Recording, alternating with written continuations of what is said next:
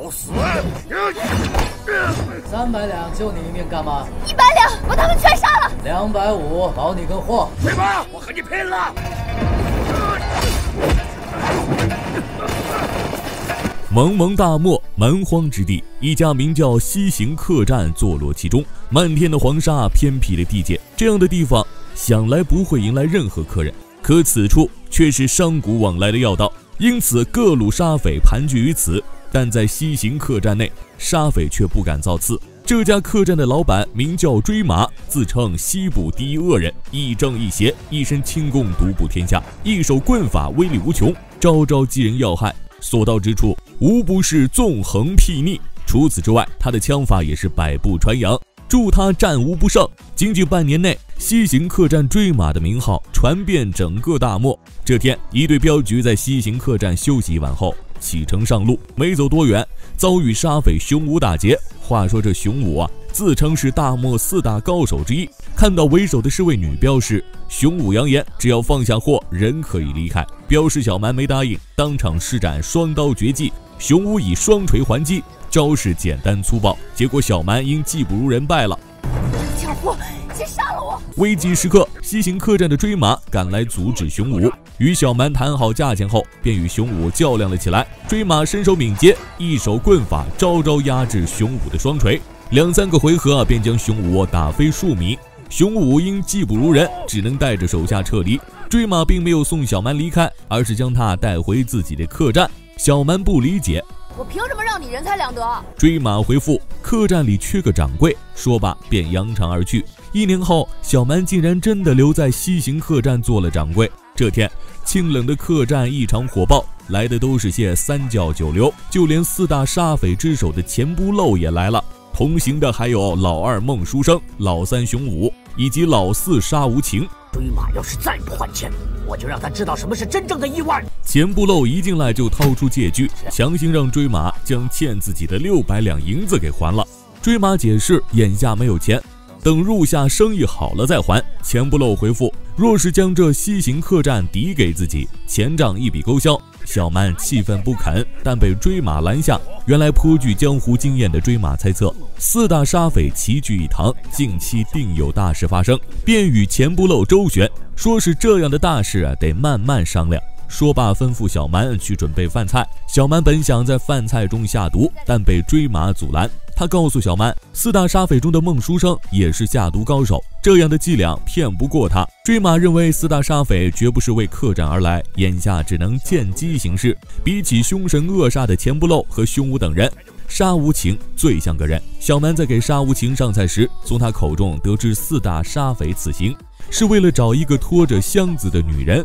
说是有人下了悬赏令，只要拿到箱子到西行客栈，就能换五块金砖。小蛮将消息透露给伙计们。此刻客栈里有一伙人在赌钱，钱不露出老千，赢得盆满钵满，被对面的女商客抓了个正着。女商客手下众多，双方正欲大打出手时，女商客却将手下劝住，不料还是莫名其妙的打了起来。追马不慌不忙地掏出账本，可以三张。原来西行客栈有个规矩，不得在此闹事，打坏东西照价赔偿。出去救债，你们还欠一两。钱不漏几人从债主变成陪嫁，反观女商客赔了银子，却丝毫不在乎。傍晚时分，门外传来敲门声，果不其然，来了一个拖着箱子的女子。女子因太疲惫，站立不稳，追马也不为难，让伙计将她扶进最好的九号客房。女子随行的箱子沉甸甸的，吸引住所有人。难道这就是能换五块金砖的箱子？客栈看似平静，实则暗潮涌动。众人都盯上了那口箱子。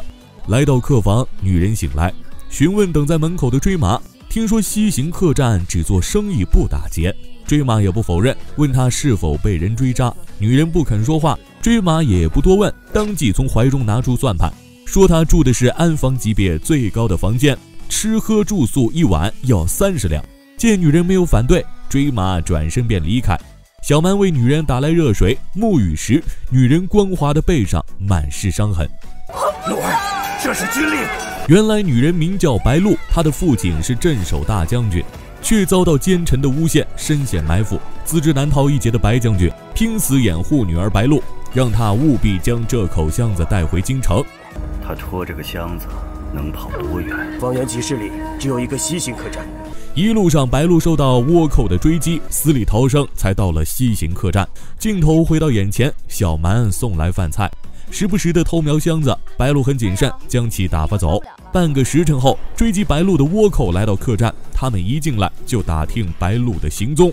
我们商队走丢了一个人，女的，提着一口大箱子。殊不知，西行客栈内都是武林高手，伙计心知来者不善，便没有多说。小蛮见对方出手阔绰。便将他们带到仓库住下。这帮人肯定也是冲着箱子来的，说不定就是出这五块金砖的正主。除了这群倭寇，四大沙匪也盯上了那口箱子。方圆百里仅有这家客栈作为补给。倭寇猜测白鹿肯定是住在这里，他们决定天黑后潜入客房看看。入夜后，追马在大厅独影，脑海中时不时闪现出过去的经历。原来追马曾经在边关当过抗倭狼兵。当年他浴血奋战，保家卫国，不料却遭奸人陷害，被诬陷成勾结倭寇的反贼。追马无处讲理，朝廷派兵围剿，狼兵死伤惨重。追马和几个兄弟侥幸活了下来。心灰意冷的他，便在沙漠之地开了一家客栈，除了躲避追兵，还为讨生活。就在这时，四大沙匪之一的沙无情也坐了过来，与追马喝起了酒。沙无情不像钱不漏等人，他长相出众，气质绝佳，就像知心大姐一般，有意打听追马的身份。追马以莫问前尘往事巧妙拒绝，两人心里都很清楚，今晚的西行客栈注定不平凡。月黑风高杀人夜，各方势力暗流涌动，都想进入九号客房抢得那口箱子。混乱之中，三大沙匪和倭寇在屋顶撞了个正着。双方敌我不明，大打出手。三大沙匪虽人不多，可彪悍善战；倭寇人多势众，也不甘示弱。就当双方对战之时，小蛮近水楼台先得月，潜入了白鹿的房间，因为他也想看看箱子里装的是什么宝贝。当小蛮掀开帘子时，先前熟睡的白鹿却不见人影。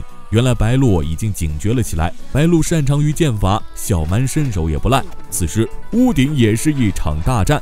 直到四大杀匪之一的孟书生不慎跌落至房间，很明显倭寇占了上风，还将钱不漏抓走。等等等等等等，咱们这位生意如何啊？钱不漏为了保住小命，向倭寇求饶，说他们要找的箱子就藏在九号客房，还说这家客栈的老板和伙计啊都是武林高手，客栈内机关重重。钱不漏要求合作，他们只为钱，对箱子并不感兴趣。不久，听到动静的追马找到白鹿。为小蛮的无礼向白鹿道歉。他说不该破坏西行客栈的规矩，对箱子下手。为了白鹿的安全，追马将自己的房间让给他住。夜里，白鹿无意之间打开了一个机关，发现一间密室，里面存放的都是狼兵的装备，还有已故之人的灵牌。白鹿猜出追马的身份，瞬间悔恨交加。镜头回到眼前，白鹿认为此地不可久留，打算连夜离开客栈。追马出现在门口，劝他等沙暴停了再走。谈话之间，追马看到白鹿剑上有一个白字，他一眼就认出，原来当年围剿追马的是白鹿的父亲白正邦。白正邦在哪儿？他已经死了。白鹿解释，这一切都是误会，当年其父被奸人利用，因误会去追杀狼兵。事后知道真相，后悔不已。本想替狼兵翻案，却因为途中有要事给耽误了。我爹是火炮行家，他访遍西域的能工巧匠，将铁炮改造成功。白鹿和父亲准备将火炮样品送至京城，此行十分隐蔽，不料还是走漏了风声，半路被倭寇截杀，全军覆没，仅剩白鹿一人。得知事情的来龙去脉后，追马决定放下个人恩怨，护送白鹿进京面圣。此行九死一生，伙计们知道后，让追马杀了白鹿，替死去的兄弟们报仇。追马解释，真正的仇人并非白鹿。小蛮也劝追马不要去，可追马心意已决。就当小蛮伤心之时，沙无情找来，他一眼就看出小蛮的心思，对追马日久生情。沙无情暗示小蛮，若是想留住追马，就杀了白鹿。小蛮没有多想，以替兄弟报仇为由，叫上伙计们，一行人气势汹汹地闯入白鹿的房间，杀了你！双方刚交手，追马便冲进来阻拦，小蛮和伙计们只得退去。追马与小蛮为此发生了争执。差点拔刀相对。小蛮气愤，负气离开了客栈。不久，倭寇露出真实嘴脸：客栈里出了人命，所有人都不准离开。倭寇先是以莫须有的理由要求搜客栈，追马极力解释，倭寇也不装了，干脆逼迫追马交出白鹿。就当双方火药味十足时，这时去而复返的小蛮走了出来，说白鹿早已离开。原来兄弟反目成仇，只是追马和他们演的一出戏。昨晚追马知道白鹿的身份，决定护送他到京城，兄弟们便支持他的决定，还决定将计就计，以小蛮赌气为由，掩护白鹿出客栈。倭寇知道中计后，怒气冲冲，当即拔枪就要击杀追马。不料追马面不改色，原来汤里被小蛮下了药。追马正欲审问，倭寇受何人指使？谁知被客栈里的女商客击毙。看似不起眼的女商客竟如此狠辣。就当几人不知所措时，小蛮为追马挡下一枪。谁也想不到，真正的幕后主使竟然是沙无情。面对追马的质问，沙无情说出自己的身份：监长太监李公公的义女。她隐藏在四大煞匪之中，只为方便与查尔哈部落勾结。还有我，查哈尔的大公主。沙无情和大公主此行的目的，只为抢夺白鹿手中的火炮，一统西域，建立一个新的王国。三大沙匪这才明白被沙无情利用。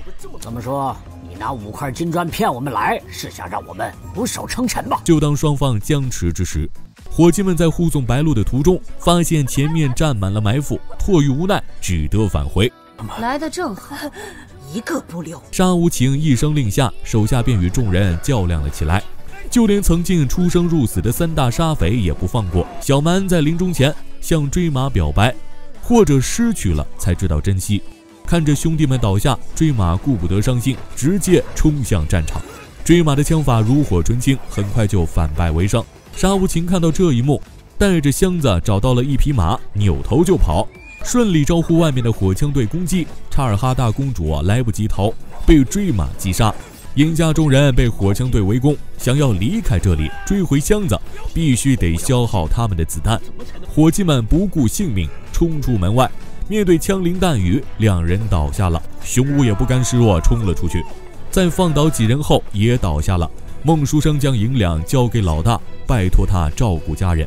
随后拿着一块门板冲了出去，可门板太薄，根本就挡不住子弹的攻击。钱不漏等人见时机差不多了，直接冲出去与对方厮杀。白鹿率先骑马追向沙无情，途中白鹿将兵器当暗器扔向沙无情，此举虽不致命，但将箱子打落。沙无情只得回头与白鹿较量，两人为了争夺箱子大打出手。白鹿因技不如人，被沙无情重伤。当追马赶来时，白鹿已是无力回天，但他仍然欣喜责任。追马气愤，拔枪打向沙无情。你空有男儿皮囊，从哪儿起？沙无情死到临头还要嘴硬，追马三两招便将沙无情击杀。就这样，追马找回箱子。等到他回到客栈时，钱不漏已将众恶人解决。临走前，将西行客栈赠与钱不漏。追马背着箱子，决定去京城完成白鹿的遗愿。这部《西行客栈》上映于二零二二年。侠之大者，为国为民。好了，今天的视频就到这里，我是追风，喜欢的话记得点赞哦，下期不见不散。